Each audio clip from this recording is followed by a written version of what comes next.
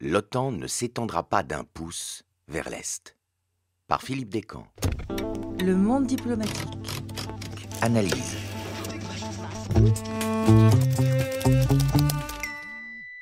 Ils nous ont menti à plusieurs reprises.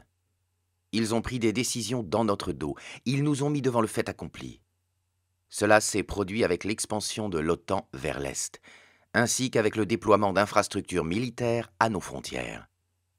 Dans son discours justifiant l'annexion de la Crimée par la Fédération de Russie, le 18 mars 2014, le président Vladimir Poutine étale sa rancœur envers les dirigeants occidentaux. Peu après, la revue de l'OTAN lui répond par un plaidoyer visant à démonter ce mythe et cette prétendue promesse. Michael Rühle, chef de la section sécurité énergétique, écrit Il n'y a jamais eu de la part de l'Ouest d'engagement politique ou juridiquement contraignant de ne pas élargir l'OTAN au-delà des frontières d'une Allemagne réunifiée. En précisant juridiquement contraignant, il révèle le poteau rose. Des documents récemment déclassifiés permettent de reconstituer les discussions de l'époque et de prendre la mesure des engagements politiques occidentaux envers M. Mikhail Gorbatchev, en échange de ses initiatives pour mettre fin à la guerre froide. Dès son arrivée à la tête de l'Union soviétique en 1985, M. Gorbatchev encourage les pays du pacte de Varsovie à entreprendre des réformes et renonce à la menace d'un recours à la force. Le 13 juin 1989, il signe même avec Helmut Kohl, le chancelier de la République fédérale d'Allemagne, une déclaration commune affirmant le droit des peuples et des États à l'autodétermination. Le 9 novembre, le mur de Berlin tombe. Une fois l'euphorie passée, les questions économiques deviennent pressantes dans toute l'Europe centrale. Les habitants de la RDA, la République démocratique allemande, aspirent à la prospérité de l'Ouest et un exode menace la stabilité de la région. Le débat sur les réformes économiques devient très rapidement un débat sur l'union des deux Allemagnes, puis sur l'adhésion de l'ensemble à l'OTAN. Le président français François Mitterrand accepte l'évolution pourvu qu'elle se fasse dans le respect des frontières, de manière démocratique, pacifique, dans un cadre européen, et que l'Allemagne approuve son projet d'union monétaire tous les dirigeants européens se disent avant tout soucieux de ménager M. Gorbatchev. L'administration américaine soutient le chancelier allemand qui avance à marche forcée. À Moscou, le 9 février 1990, le secrétaire d'État américain James Baker multiplie les promesses devant Edouard Shevardnadze, le ministre des Affaires étrangères soviétique, et M. Gorbatchev.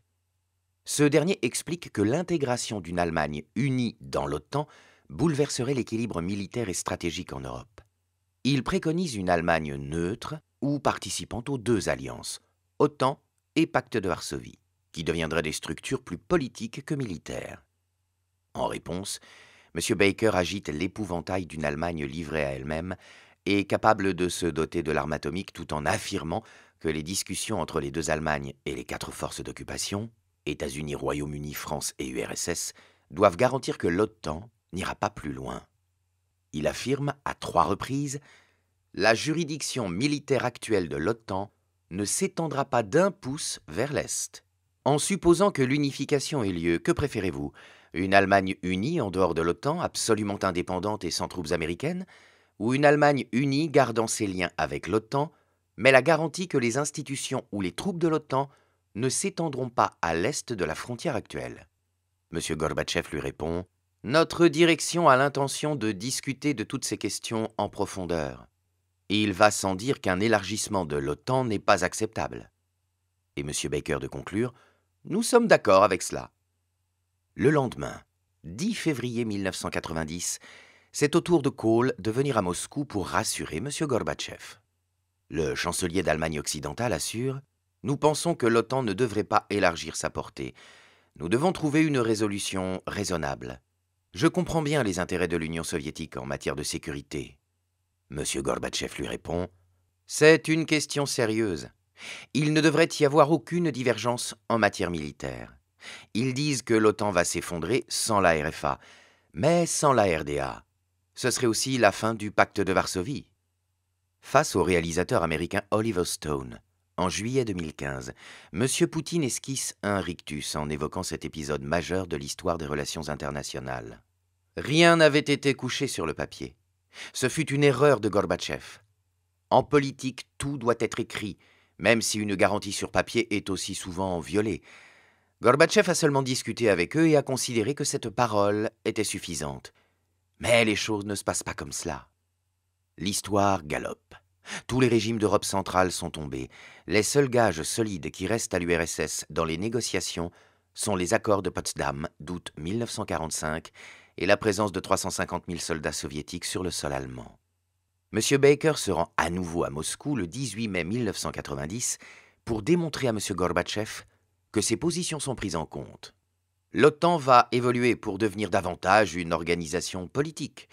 Nous nous efforçons, dans divers forums, de transformer la conférence sur la sécurité et la coopération en Europe, la CSCE, future OSCE, en une institution permanente qui deviendrait une pierre angulaire d'une nouvelle Europe. M. Gorbatchev le prend au mot.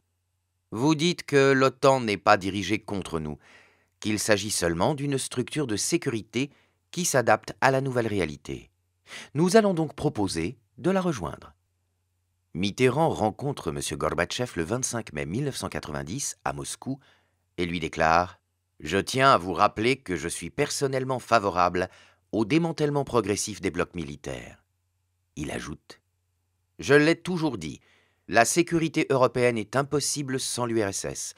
Non parce que l'URSS serait un adversaire doté d'une armée puissante, mais parce que c'est notre partenaire. Le président français écrit dans la foulée à son homologue américain que l'hostilité de M. Gorbatchev à la présence de l'Allemagne unifiée dans l'OTAN ne lui apparaît ni feinte ni tactique, en précisant que le dirigeant soviétique n'a plus guère de marge de manœuvre. Malgré la dégradation économique, M. Gorbatchev a raffermi son pouvoir. Ayant été élu président de l'URSS en mars, il écarte les conservateurs lors du congrès du Parti communiste de l'Union soviétique qui se tient début juillet. Le dernier acte politique se joue le 16 juillet, dans le village montagnard d'Ariz, dans le nord du Caucase. En échange du retrait des troupes soviétiques de la future Allemagne unie et membre de l'OTAN, Kohl s'engage devant M. Gorbatchev à accepter les frontières de 1945, la ligne Oder-Neisse, à n'avoir aucune revendication territoriale, à diminuer presque de moitié les effectifs de la Bundeswehr, à renoncer à toute arme ABC atomique, bactériologique ou chimique, et a versé une substantielle aide au départ. L'accord est scellé dans le traité sur la réunification de l'Allemagne, signé le 12 septembre 1990 à Moscou.